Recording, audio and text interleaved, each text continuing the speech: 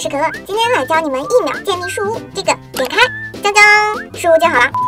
这是一个命令方块建立的书屋，作者给了文件，感兴趣的可以去下载哦。地址我贴在这里了。哇，作者很贴心，竟然还有秋千，还可以荡起来，这比我上次玩的那个游乐园的 mod 还要好。咻，接下来我们就要上树了，在这里，在这里爬绳子上树，然后往右边走，这里有一个小楼梯，上去就到了房间里啦。先把门关上，接下来就要好好介绍一下房间啦。这里是厨房，熔炉上面放了一个类似于煤气一样的东西。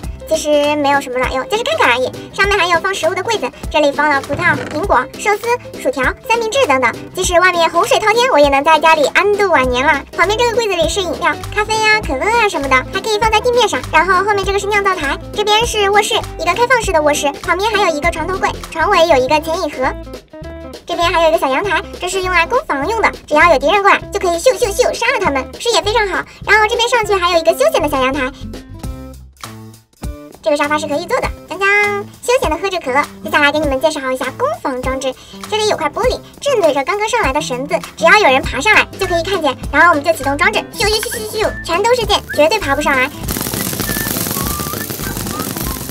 即使从这一面爬上去了，这里也过不去；即使过去了，也会被困在这里跨不过去。即使跨过去了，我已经把这里门关了。我操，我把门关了，那我自己该怎么进去啊？OK，千辛万苦，我终于进来了。即使即使敌人进来了，我们也有最后一招。看见这幅画了没有？这是一幅神秘的画，背后暗藏机关。靠近，跳跃，将！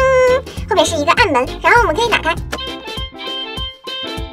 从这里跳下去，下面有粘液接着呢，不用担心摔死，然后就可以开溜啦。如果你不心疼的话，还可以放一把火再走哦。好了，今天视频就到这里结束，喜欢点关注。